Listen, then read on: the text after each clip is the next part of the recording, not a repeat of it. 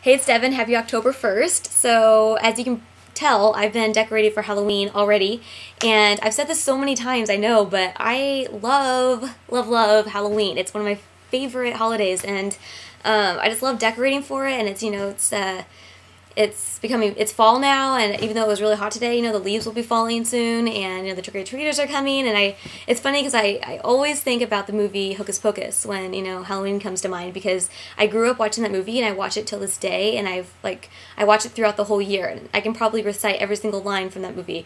But it's just like I mean, I love the whole in the movie. I love their whole town and how it's just like decorated to the nines for Halloween. It's just really, really fun.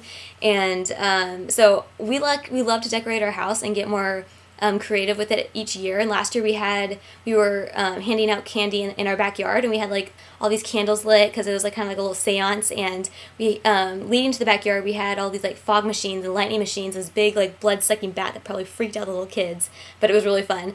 And um, we had like spooky music, and everyone was like thinking thinking we were gonna scare them, but we were just handing out candy. So it was just like it just looked spooky, but.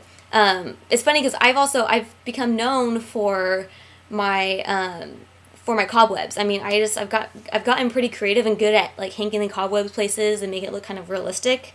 I mean, as realistic as you can get. But um, I mean, cobwebs they're, they're like the epitome of of Halloween. So it's just kind of become my thing, and I'm like, you know, everyone knows that I'm going to be hanging the cobwebs. So I just I can't wait for Halloween. It's going to be so much fun. I can't wait to decorate, and I'm excited.